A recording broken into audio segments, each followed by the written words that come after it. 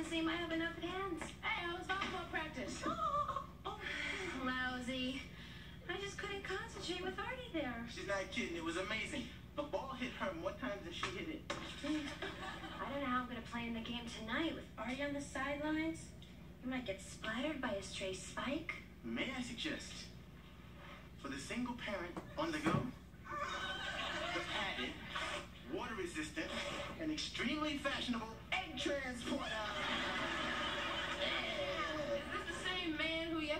playing frisbee with his daughter? What? A person can't change. We are in college to learn and to grow, aren't we? Wait, I'm very impressed. Maybe our kids could play together sometime. Not on your life.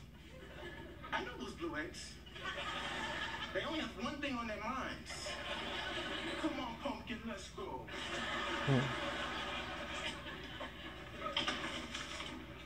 You know, I really don't know what I'm gonna do about that volleyball game tonight. Maggie, why don't you just leave Artie in the room? I'm sure he'll be fine.